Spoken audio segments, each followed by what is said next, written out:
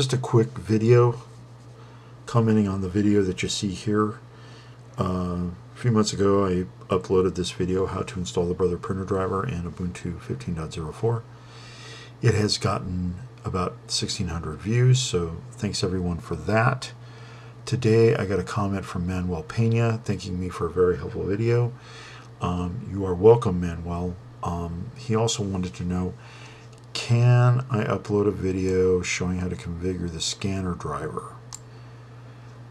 That's what I'm doing right now. Um, and it's pretty simple. Uh, if you have a plain vanilla Ubuntu install like I have right now, uh, Simple Scan is already installed. So um, if you want to do a quick scan of anything, just go ahead and go and do it. I'm going to see if this works because my printer is out of ink and I want to make sure that it's awake.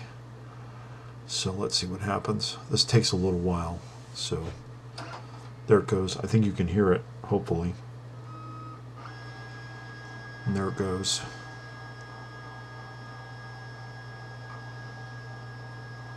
And I don't think it's as fast as the Windows version of this driver, but it gets the job done. Um, then you can go ahead and crop it wherever you'd like. It's kind of fiddly, but it works. Maybe a little bit less on the top. Make it bigger.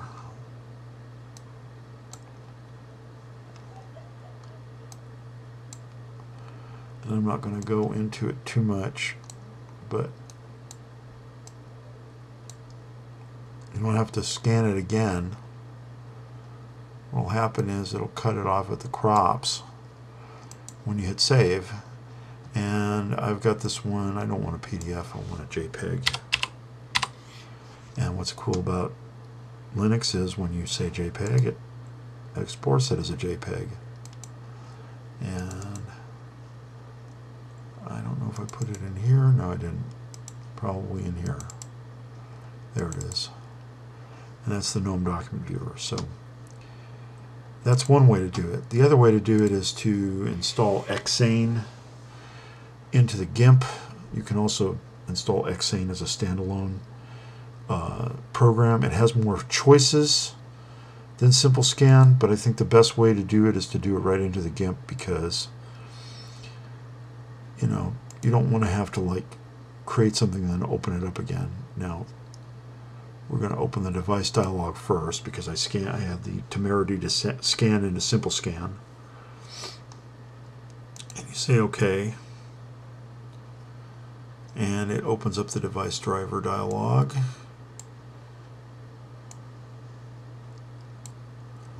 And I don't see the scan window, but that's all right. Let's just go ahead and say scan and see what happens.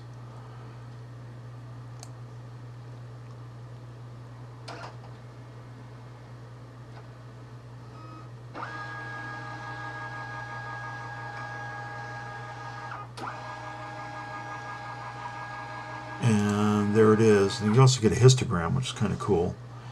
Um, and you can do with this whatever you'd like. And I'll crop this one. This is easier for me. Oops. Well.